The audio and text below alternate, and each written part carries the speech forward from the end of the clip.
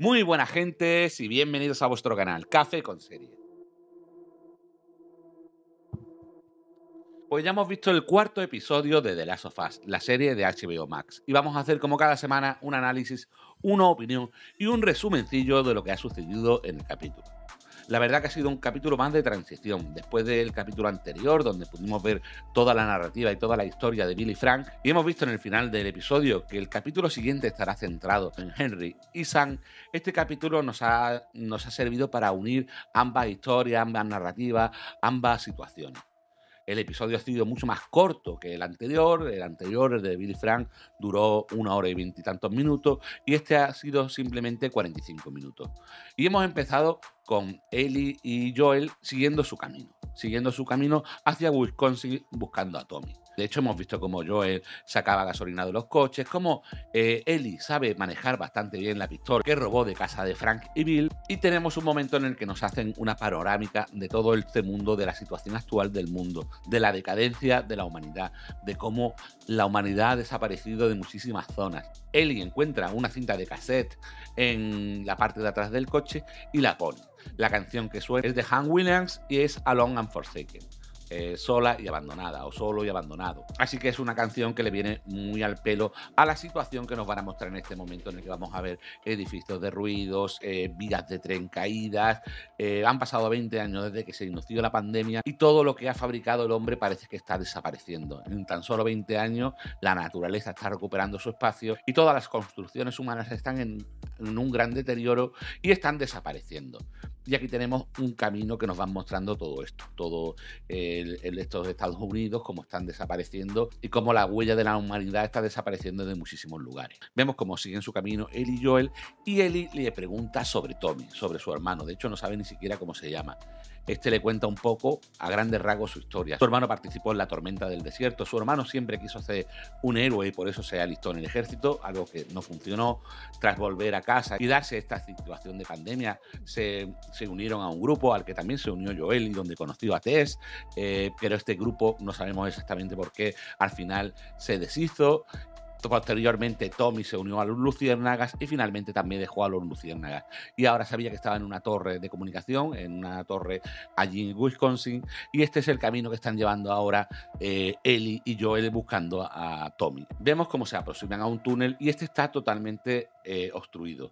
Está obstruido por distintos vehículos que, impiden eh, pasar a la pica de Joel y Ellie. Así que sin demasiadas ganas, Joel decide dar un rodeo para sortear este túnel y para ello tiene que atravesar Kansas City.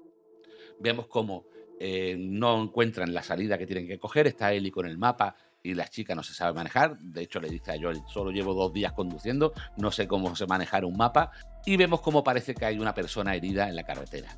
Ellie duda en ayudarlo, pero Joel no tiene ni la más mínima duda de que esto es una trampa. Posteriormente nos comunicará que él ya ha hecho esto anteriormente, así que sabía que era una trampa porque reconocía lo que él había llevado a cabo. Eran cosas que había tenido que hacer durante su periplo cuando eh, se inició la pandemia para sobrevivir. Algo de lo que no está muy orgulloso y de hecho la propia Eli le pregunta, ¿mataste a inocentes? Y Joel no llega ni siquiera a contestarle esta pregunta. Vemos cómo, cómo intentar escapar, pero le, han preparado una emboscada. Acaba estrellándose con un escaparate y Joel acaba con la vida de dos eh, de los asaltantes. Parece que todo está tranquilo, pero hay un tercer hombre. Un tercer hombre que ataca a Joel por sorpresa y lo está venciendo. De hecho, tiene que salir Ellie de su escondite para dispararle a este tercer individuo, ya que si no hubiese acabado con la vida de Joel lo deja mal herido, mm, se quiere rendir, quiere evitar que lo maten. Joel manda a la niña a otra habitación y acaba con la vida de este hombre. Pero es el momento en el que vemos llegar multitud de camiones y, gente armada, por lo que Joel y Ellie tienen que huir y esconderse, tienen que esperar a que la cosa esté calmada para poder moverse. Y descubrimos que Kansas City, que esta ciudad, no está gobernada por Fedra, sino que hay un grupo que parece que se mm, rebeló contra Fedra y ahora se autogobiernan están liderados por una tal Catherine que busca concienzudamente a un tal Henry. Vemos cómo tiene a un médico en, una sala de interrogatorios y le pregunta continuamente por este Henry. Parece que mientras Fedra estaba gobernando la ciudad, hubo muchas denuncias a vecinos y demás, y esto provocó que el, que el hermano de esta tal Catherine fuera detenido. Y ahora que se han rebelado contra Fedra, que los ciudadanos son libres y autogobernados están llevando a cabo una limpieza de todos aquellos que denunciaban y exponían a personas que no eran totalmente fieles a Fedra. Y seguimos viendo la crueldad que está intrínsecamente entrelazada con esta serie. Llegan los soldados, los que fueron eh, los que llegaron cuando Joel eliminó a los tres asaltantes y traen los cuerpos. Tras ver esto, Catherine se lo achaca a Henry, que Henry ha llamado a alguien, que los que han llegado no son más que mercenarios o personas llamadas por Henry para actuar contra ellos. Así que vemos como se pone un poco irascible, entra en, el calabozo donde había estado con el médico y le dispara sin ningún tipo de miramientos. Vemos como Ellie y Joel al anochecer empiezan a moverse, buscan un edificio muy alto para poder divisar una ruta segura para escapar de la ciudad vamos viendo cómo están ellos cada vez afianzando más su relación, llegan al piso 31, el, edificio tiene 45 pisos, pero están bastante cansados y no pueden llegar hasta arriba y empiezan a charlar. Aquí Joel se le ve apenado, apesado, umbrado, porque Eli haya tenido que disparar, haya tenido que disparar al otro muchacho. Pero Ellie le confiesa que no es la primera vez que disparó su arma. Ella ya había disparado antes y no le quiere hablar del tema a Joel, prefiere guardárselo para ella.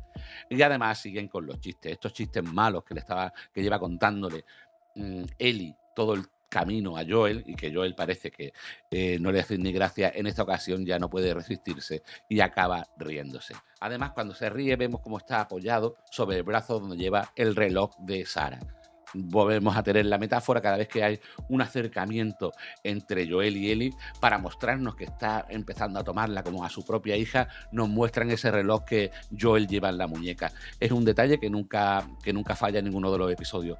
Cuando vemos un acercamiento más fraternal entre eh, Joel y Ellie, el reloj está siempre presente. Vemos cómo se van a descansar y despiertan con dos chicos apuntándoles con pistolas. Esto van a hacer los chicos que está buscando Catherine, eh, Henry y Sam, y su historia es muy interesante y la seguiremos viendo en el siguiente episodio. Por otra parte, cuando Catherine y sus hombres están buscando a, Joel y a Ellie, no saben exactamente quiénes son, pero lo están buscando por toda la ciudad, descubrimos que en un sótano eh, la tierra está como blanda y está como que fuera a salir algo vivo de ahí.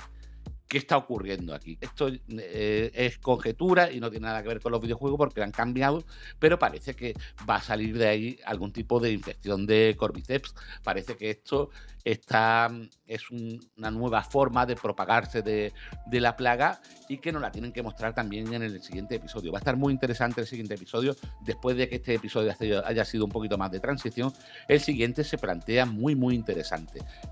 ¿Qué es lo que va a salir exactamente de ahí? Infectados, raíces, extensiones del propio Cordyceps, como hemos visto en, otros en otros episodios que están en el subsuelo y que se comunican con los infectados. Algo, algo extraño va a salir de ese agujero y espero que lo podamos ver en el siguiente episodio. Y nada, gente, por lo dicho, un episodio quizás más flojo que los anteriores, pero que nos está trasladando desde desde el momento, desde la historia de, Frank y Billy, hasta la siguiente, otra historia muy interesante y muy, muy emotiva, que será la de Sam y Henry. Así que nada, dejadme en los comentarios qué os ha parecido vosotros este episodio, si os ha gustado, si no os ha gustado. Y ya sabéis que si os gustan este tipo de vídeos, solo tenéis que suscribiros, dar a like, activar la campanita para que siempre os avise cuando haya un vídeo nuevo.